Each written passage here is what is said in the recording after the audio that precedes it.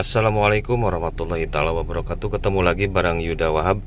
Apa kabarnya teman-teman semua? Semoga teman-teman semua selalu dalam lindungan Allah Subhanahu wa taala dan selalu diberikan kesehatan. Amin.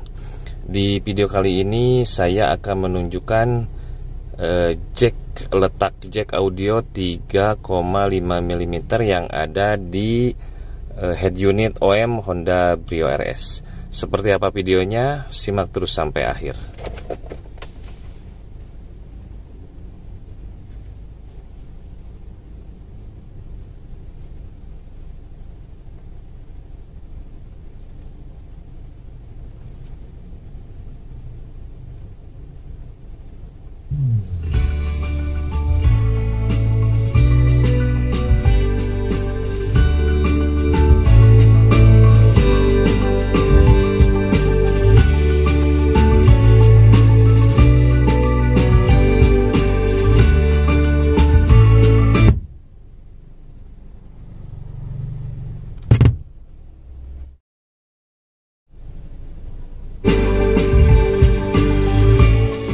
Nah itu merupakan contoh dari uh,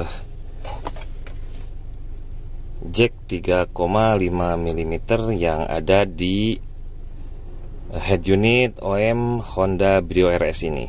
Nah di sini saya akan tunjukkan sekarang kepada teman-teman sebetulnya ada di mana letak dari jack audio 3,5 mm yang berada di head unit Honda Brio RS ini karena untuk tampilan dari muka ataupun tampak depan, di sini tidak terdapat e, lubang audio untuk e, masuknya tempat jack 3,5 mm.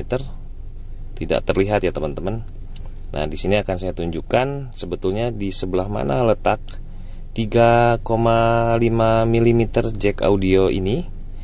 Bukannya tidak ada, tetapi karena letaknya yang tidak tampak terlihat oleh kita karena letaknya tidak di depan muka. Oke teman-teman sekarang kita tunjukkan saja langsung di mana letak dari jack 3,5 mm ini.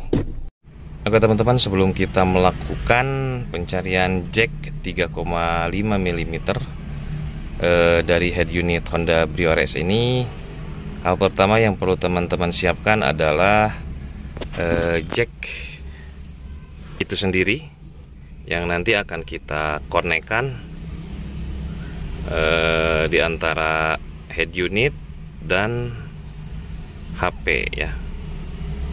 Nah, seperti ini teman-teman. Teman-teman hanya perlu menyiapkan jack seperti ini. Ini jack seperti ini banyak dijual di toko-toko elektronik ya, ataupun di eh, toko-toko uh, online. Jadi teman-teman hanya tinggal membelinya. Ini kurang lebih panjangnya setengah meter ya. Oke teman-teman sekarang kita bakal cari langsung letak dari jack 3,5 mm nya Nah oke teman-teman eh, ini adalah konsul box yang sebelumnya apabila teman-teman ingin menemukan ataupun mencari jack 3,5 mm bawaan dari head unit OM Honda Brio teman-teman terlebih dahulu buka dulu konsul box yang ada di bagian samping kiri supir dengan cara kita buka terlebih dulu ya teman-teman. Seperti ini caranya teman-teman. Nah ini setelah terbuka ini di sini samping kiri dan sebelah kanannya teman-teman tinggal didorong ke bagian dalam. Seperti ini teman-teman. Saya praktekkan ini didorong. Ditekan saja ke dalam. Maka konsul box akan terbuka begitu saja teman-teman Nah, setelah ini terbuka, teman-teman, ini dijadikan jalan untuk ke bagian belakang akses masuk e, dari head unit Honda Brio RS ini karena letak dari jack 3,5 mm ini terdapat persis di bagian belakang head unit teman-teman. Oke, kita langsung cari saja teman-teman.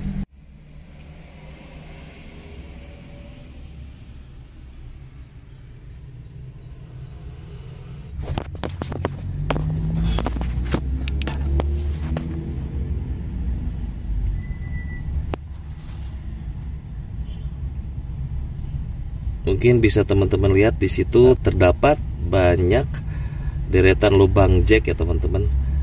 Nah, untuk jack 3,5 mm itu warnanya warna hitam.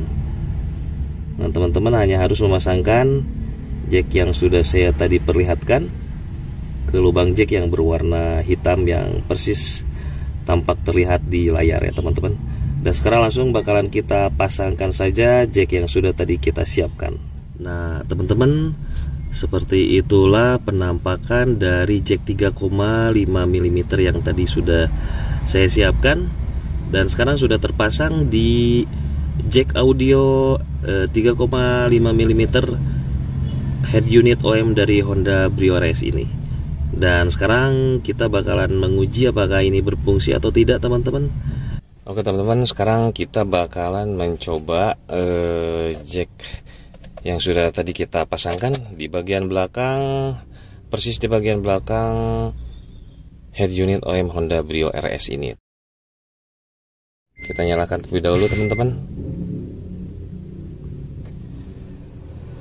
Nah di sini teman-teman hanya perlu eh, untuk eh, masuk ke tampilan menu ya setelah masuk ke tampilan menu, teman-teman bisa lihat di paling ujung kiri atas. Di situ terdapat tulisan all. Ini kita tekan saja. Dan di sebelah bagian kanan persis atas di situ terdapat api in. Nah, kita pijit. Dan ini sudah masuk ke menu untuk menggunakan jack 3,5 mm. Dan sekarang bakalan kita pasangkan ke HP handphone.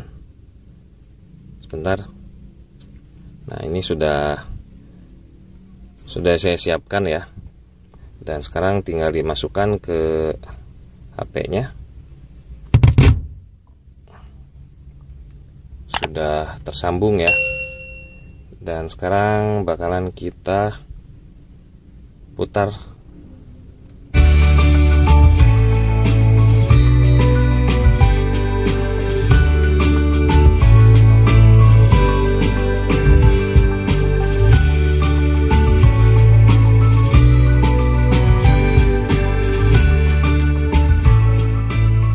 saya kecilkan volumenya teman-teman. Di bagian remote setir ya. Saya kecilkan. Saya besarkan lagi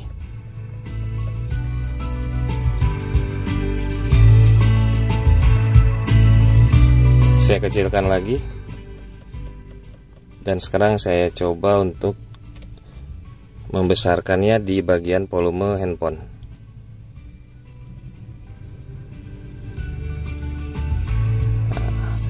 Dan berfungsi baik teman-teman